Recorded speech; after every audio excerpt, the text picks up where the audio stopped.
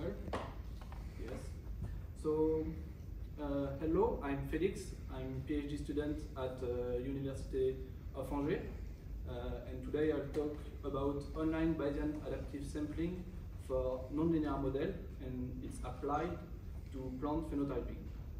So first, I give you some geographical context. Uh, as you know, we are here in, La in Lyon. Uh, my laboratory is located in uh, the city of Angers.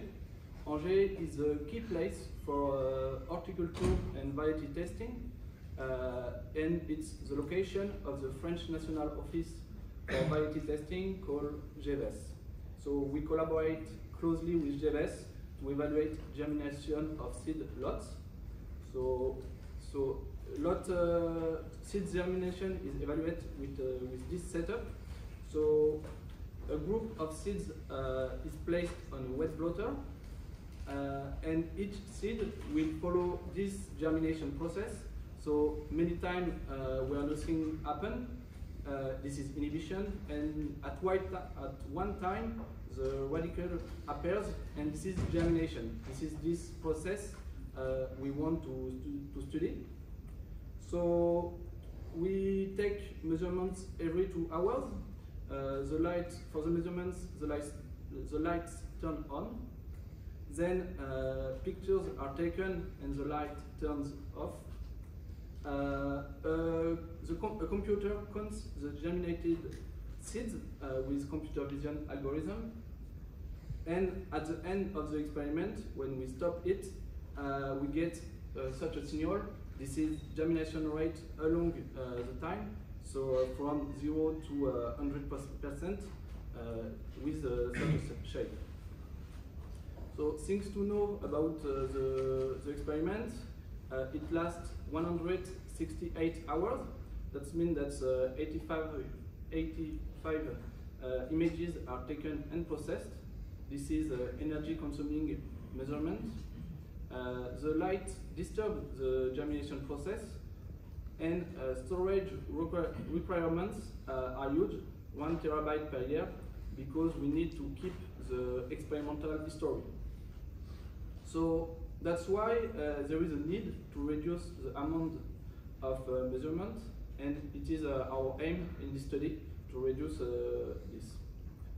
So first, I give you the signal modeling. So we model uh, the germination rate as follow.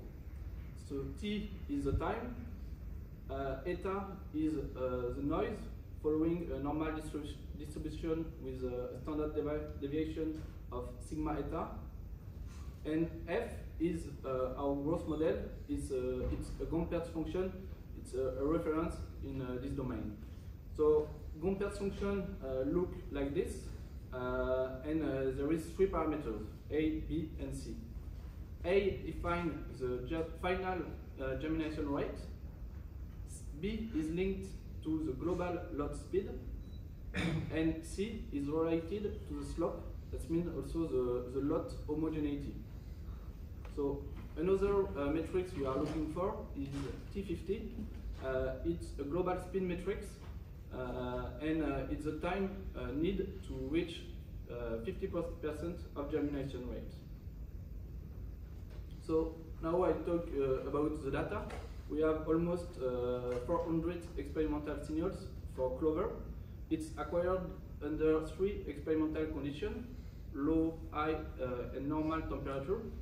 So it's lead to three uh, germination speed, slow, normal, and fast. The normal uh, signals are split into test and training. We call the normal training set NTS. And uh, fast and slow data are kept uh, for test uh, in order to study bias. We, we have also simulated data. Uh, it's based on the model I presented previously. And the parameters are chosen with, with estimation on the normal training set uh, data. So what, what we do to reduce the amount of measurements is to perform an online adaptive sampling and we monitor it by the uncertainty. Uh, it's the uh, measure, the unknown uh, germination rate uh, standard deviation denotes uh, sigma while tilde, while tilde. Tilde is the uh, unknown germination rate, as I say, and we have uh, previous knowledge. It's the the previous measurement uh, ym and tm, the measurement and the corresponding uh, time. This is vectors. So here is the algorithm for uh, online adaptive sampling. So every two hours we will estimate the, uh, the uncertainty. Uh, if it's uh, higher than a threshold denoted sigma t, we will take a new measure. So if the uncertainty is too high, we take a measure. And this process uh, is uh, running until a time limit, a time limit denoted max. So the key step in this uh, process is uncertainty estimation, and we will uh, uh, compare three methods for it: uh, Monte Carlo MC, Monte Carlo Markov chain MCMC, and Gaussian process GP. So first on, uh, on Monte Carlo, we will use the expected value of the unknown measurement. we need the, the linked um, posterior distribution of this of this uh, this measure. So by applying Bayesian rules and Monte Carlo principle, we make a pair, a sum on uh, the parameters, and uh, the sample uh, of the parameters are generated from the uh, normal training set. So we take all uh, all our signal in the in this set, and we estimate the parameters, and this is our priors for this method. So other distribution in this uh, in this formula are well-known uh, distribution, normal PDF, uh, multivariate normal PDF, and the last one is normalization constant. So at the end, we uh, compute the uncertainty by numerical integration. So now I move to uh, Monte Carlo Markov chain. So we also need to generate a sample of A, B, C, and also of the noise standard deviation. Uh, this, uh, this sample follows the joint posterior distribution and the generation is made by the Metropolis Hastings random walk. So our hypothesis in this, uh, in this method uh, are the independence of the parameters and our main prior is uh, that all the parameters follows uniform distribution. The bounds uh, of this distribution are found on the normal training set. So, and uh, we compute uh, the, the uncertainty at the end. So now the, the Gaussian process, we model uh, our function uh, as a Gaussian process. It uh, allows us to, to use prior on the space of nonlinear function instead on the parameters. So the hypothesis uh, are that for any set of time the, the, evaluation of the function, the joint probability uh, for normal distribution. We also uh, suppose that uh, the expected value of the function is equal to zero, and, uh, at, and we uh, estimate the noise variance on the normal training set. So to uh, constrain our model, our method by the model, we need a covariance function that depends of the gross model the Gompertz function. And uh, we also need the kernel vector associated with T uh, and uh, the covariance matrix of the denoised measurement. So to evaluate uh, our methods, we focused on two aspects, distortion and bias. So we faced a rate distortion trade-off. Trade we define the compression rate as the length of the subsample signal divided by the length of the full sample one. And uh, as distortion, we use the mean square error between the full sample signal and the subsample one. So what we expect uh, is that at a fixed compression rate, we get the lowest uh, MSE as possible. So the other matrix is bias. Uh, we use for it T50, so we compute T50 on the full sample signal and uh, on the subsample one, and we make the difference. This is a T50 error, um, our bias. And if T15 error T50 error is uh, higher than zero, it's positive, that means that germination speed is estimated to be faster than it really is. So here uh, we plot uh, the distortion compression uh, curves for simulated and real data. Real data are uh, from the normal testing set. What we, we see first, we see a similar behavior between simulation and real. And it um, validates our modeling uh, for this experiment. So we see that the Gaussian process method gives less, is very unstable and uh, the distortion rate uh, is high. So at a low distortion rate, so I mean uh, 0.2, uh, the Monte Carlo and Monte Carlo Markov chain give a low uh, distortion. This is very interesting. That means that we reach to uh, compress the signal from uh, 85 uh, sample to 17 sample. Um, so this is um, a good a good compression for us. So between 0.2 and 1 uh, of compression rate, the better performance and the better stability are for the Monte Carlo Markov chain. And under uh, 0.2 uh, compression rate, it's MC that produces uh, the lowest distortion. But uh, it's not free as we see later. Later uh, is now. so here I show you the bias result we we see uh, the distortion, the log of the distortion, and uh, the uh, bias, the T15 error obtained on the real data at 0.2 compression rate, and it's for the different sets of data, normal, fast, and slow. So first, we see that uh, GP performed poorly on fast uh, signals. Uh, this is confirmed by the bias we see that the signal estimation is uh, system systematically slower than, uh, uh, than the reality. this is a big default. MC perform better on normal data than the other. So what we see on bias uh, is that the slow signals seem faster and the fast signals see, are slower. Uh, so that means that there is a centering effect to the to the normal uh, training set, uh, everything is seen uh, as a normal signal. For MCMC, we we get the, the better stability. It's very stable across different groups compared to, to the other. The bias remains the bias sorry remains low. So as conclusion, uh, what I can say about methods, uh, the method is that uh, Gaussian process uh, is not performing. Uh, I think uh, it's due to the hypothesis. we suppose that the expected value of the function is equal to zero. This is not adapted to our problem.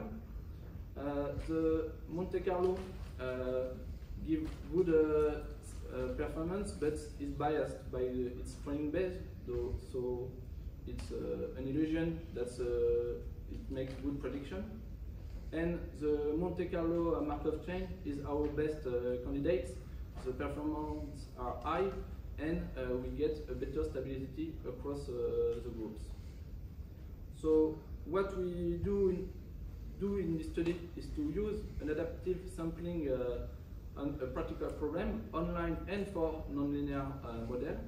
So we take advantage of our prior knowledge uh, on the parameters and on the model and we reach to reduce the number of samples from 85 to uh, 17. So we want to take further direction. Uh, so the first is to have an adaptive Tmax, to have a full adaptive uh, method. Uh, the end of the experiments uh, have to be uh, have not to be to be monitored by a human. Uh, we want also to study the threshold compression rate relationship in order to monitor the uncertainty. And uh, we also want to, uh, to uh, test other methods than Kalman and filtering or particle filtering. So thank you for, for your attention and feel free to ask questions.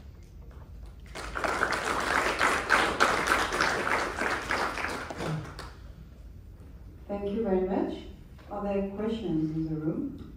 Yes? Um, why is the mean of the Gaussian process supposed to be zero? Uh, it's uh, for the computational tractability, and uh, we made it uh, for it. So and uh, test uh, and we test if uh, it works or not, and uh, apparently it doesn't work so so much. With this non-zero mean? Or with the zero? With uh, the zero mean, we don't try with the non-zero mean. Okay. And with this non-zero mean, you have computational issues? Is that true? Uh, yes, but with the, the modeling, it's, uh, it's harder to, uh, to find the solution.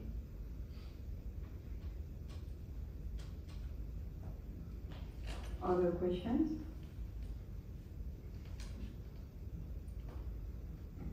So uh, I would have one. You say that you have a threshold on the uncertainty that is called a sigma big T, and so that if uh, you go over this threshold, then you do a measurement. How do you choose this sigma big T? Is there some expert knowledge inside, or is it empirical?